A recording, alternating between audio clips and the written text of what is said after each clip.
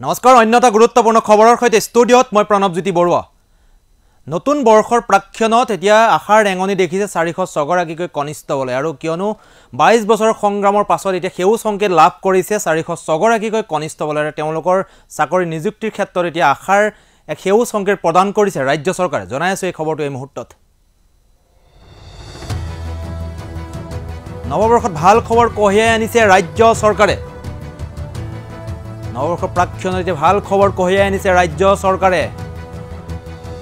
আৰু চাৰিশ ছজন কনিষ্টবলৰ চাকৰিৰ নিযুক্তিৰ ক্ষেত্ৰত সেউজ সংকেত প্ৰদান কৰিছে। সেউজ সংকেত প্ৰদান কৰিছে চাৰিশ ছজন কনিষ্টবলৰ চাকৰিৰ নিযুক্তিৰ ক্ষেত্ৰত। আৰু সুদীৰ্ঘ বাইছ বছৰৰ পাছত এতিয়া আশাৰ ৰেঙনি চাৰিশ ছগৰাকী কনিষ্টবলৰ বাইছ বছৰ সংগ্ৰামৰ এতিয়া অৱসান হোৱাৰ দিশে এতিয়া নতুন বৰ্ষত লাভ কৰিব চাৰি চাৰিশ ছজন কনিষ্টবলৰ চাকৰি চাকৰি নিযুক্তিৰ ক্ষেত্ৰত এতিয়া সেউজ সংকেত প্ৰদান কৰিছে ৰাজ্য চৰকাৰে আৰু মুখ্যমন্ত্ৰীক সাক্ষাৎ কৰাৰ পাছতে এতিয়া সেউজ সংকেত লাভ কৰিছে চাৰিশ ছগৰাকীকৈ কনিষ্টবলে বাইছ বৰ্ষৰ সংগ্ৰাম অব্যাহত ৰাখিছিলে। বাইছ বৰ্ষৰ অৱসানৰ সংগ্ৰামৰ পাছত এতিয়া আশাৰ ৰেঙনি চাৰিশ ছগৰাকীকৈ কনিষ্টবল আৰু নৱবৰ্ষতেই ভাল খবৰ লাভ কৰিব চাৰিশ ছজন কনিষ্টবলে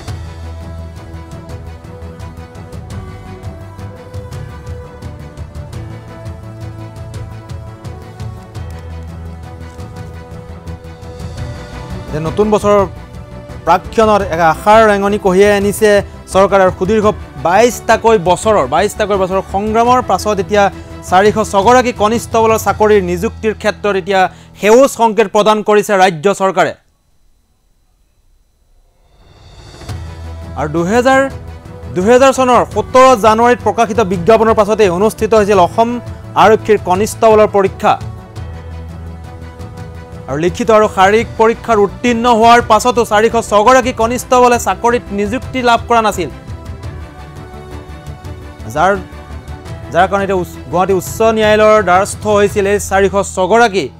চাৰিশ ছগৰাকী কনিষ্টবল আৰু ইয়াৰ পাছতে এতিয়া নতুন বৰ্ষৰ প্ৰাক্ষণত উচ্চতম ন্যায়ালয় উচ্চ ন্যায়ালয় গুৱাহাটী উচ্চ ন্যায়ালয়ে আশাৰ বাৰ্তা কঢ়িয়াই আনিছে চাৰিশ ছগৰাকী কনিষ্টবললৈ আৰু মুখ্যমন্ত্ৰীক সাক্ষাৎ কৰাৰ পাছতে এতিয়া এক আশাৰ ৰেঙনি লাভ কৰিছে চাৰিশ ছগৰাকীকৈ কনিষ্টবলে বাইছ বছৰৰ যি সংগ্ৰাম আছিলে সেই সংগ্ৰাম এতিয়া অৱসান হোৱাৰ দিশে কিয়নো নতুন বৰ্ষত এতিয়া ৰাজ্য চৰকাৰে এক আশাৰ ৰেঙনি কঢ়িয়াই আনিছে সেউজ সংকেত প্ৰদান কৰিছে চাৰিশ ছগৰাকীকৈ কনিষ্টবললৈ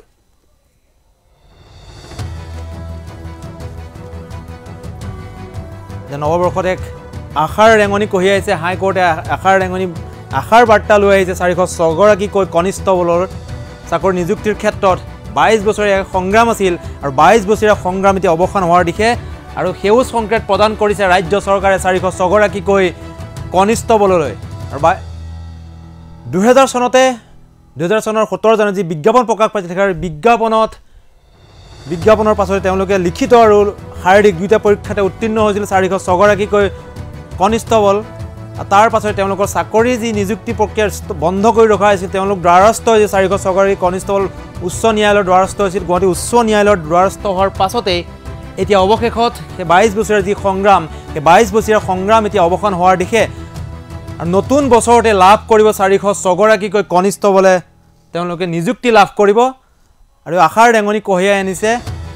গুৱাহাটী উচ্চ ন্যায়ালয়ে চাৰিশ ছগৰাকীকৈ কনিষ্টবললৈ।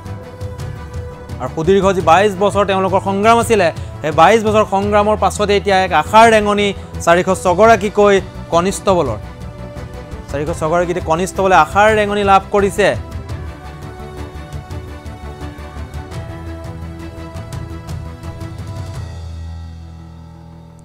দুহেজাৰ চনত প্ৰকাশিত বিজ্ঞাপনৰ মাজত অনুষ্ঠিত হৈছিল অসম আৰক্ষী কনিষ্টবলৰ পৰীক্ষা আৰু লিখিত আৰু শাৰীৰিক পৰীক্ষাত চাৰিশ ছগৰাকী কনিষ্টবল উত্তীৰ্ণ হৈছিল আৰু ইয়াৰ পাছতেই চাকৰি নিযুক্তি দিয়া নাছিল। সেই সময়ৰে চৰকাৰে যাৰ বাবে এই চাৰিশ চাৰিশ ছজন কনিষ্টবলে গুৱাহাটী উচ্চ ন্যায়ালয়ত দ্বাৰস্থ হৈছিল তাৰ পাছৰ পৰা তেওঁলোকৰ সংগ্ৰাম অব্যাহত আছিল আৰু অৱশেষত এতিয়া নতুন বৰ্ষৰ প্ৰাক্ষণত এক আশাৰ ৰেঙনি কঢ়িয়াই আনিছে উচ্চ ন্যায়ালয়ে চাৰিশ ছগৰাকীকৈ কনিষ্টবলৰ জীৱনলৈ।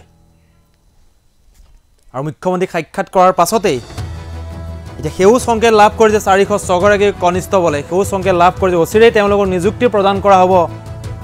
অচিৰে চাৰিশ ছগৰাকী কনিষ্টবলক নিযুক্তি প্ৰদান কৰা হ'ব। দুহেজাৰ দুহেজাৰ চনৰ পৰা তেওঁলোকৰ যি সংগ্ৰাম আছিলে সেই সংগ্ৰাম এতিয়া অৱসান হ'ব আৰু উচ্চ ন্যায়ালয় গুৱাহাটী উচ্চ ন্যায়ালয়ে সেউজ সংকেত প্ৰদান কৰিছে। মুখ্যমন্ত্ৰী সেউ সাক্ষাৎ কৰাৰ পাছতে এতিয়া এক সেউজ সংকেত লাভ কৰিছে। চাৰিশ ছগৰাকীকৈ কনিষ্টবলে তেওঁলোকৰ জীৱনত এতিয়া আশাৰ ডেঙনি আহিছে। নতুন বৰ্ষত নিযুক্তি প্ৰদান কৰা হ'ব। চাৰিশ ছজনকৈ কনিষ্টবলক দুহেজাৰ চনৰ পৰা তেওঁলোকৰ যি সংগ্ৰাম বাইছ বছৰীয়া সংগ্ৰাম আছিলে তেওঁলোকৰ। বাইছ বছৰীয়া সংগ্ৰাম এতিয়া অৱসান হোৱাৰ দিশে আৰু নতুন বৰ্ষত নিযুক্তি লাভ কৰিব চাৰিশ ছজনকৈ কনিষ্টবলে আৰু তেওঁলোকৰ জীৱনলৈ আশাৰ ৰেঙনি কঢ়িয়াই আনিছে। এতিয়া মুখ্যমন্ত্ৰী সাক্ষাৎ কৰিছে তেওঁলোকে। আৰু মুখ্যমন্ত্ৰী সাক্ষাৎ কৰাৰ পাছতে এতিয়া আশাৰ ৰেঙনি চাৰিশ ছজনকৈ কনিষ্টবলৰ জীৱনলৈ। আৰু অতি শীঘ্ৰে নিযুক্তি প্ৰদান কৰা হ'ব চাৰিশ ছজনকৈ কনিষ্টবলক তেওঁলোকৰ বাইছ বছৰীয়া সংগ্ৰাম আছিলে দুহেজাৰ চনৰ সোতৰ জানুৱাৰীত যি অসম আৰক্ষীক বিজ্ঞাপন প্ৰকাশ পাইছিলে আৰু সেই বিজ্ঞাপনত তেওঁলোকে অসম আৰক্ষী পৰীক্ষাত শাৰীৰিক আৰু লিখিত পৰীক্ষাত তেওঁলোকে উত্তীৰ্ণ হৈছিলে আৰু উত্তীৰ্ণ হোৱাৰ পাছতো তেওঁলোকৰ চাকৰিত নিযুক্তি প্ৰদান কৰা হোৱা নাছিলে সেই সময়ৰ চৰকাৰে। আৰু তেওঁলোকে গুৱাহাটী উচ্চ ন্যায়ালয়ৰ দ্বাৰস্থ হৈছিলে। আৰু তেওঁলোকৰ যি সংগ্ৰাম আছিলে বাইছ বছৰীয়া এক সংগ্ৰাম তেওঁ তেওঁলোকে অব্যাহত ৰাখিছিল আৰু অৱশেষত বাইছ বছৰীয়া সংগ্ৰাম এতিয়া অৱসান হোৱাৰ দিশে আৰু তেওঁলোকক নিযুক্তি প্ৰদান কৰিব নতুন বৰ্ষতেই।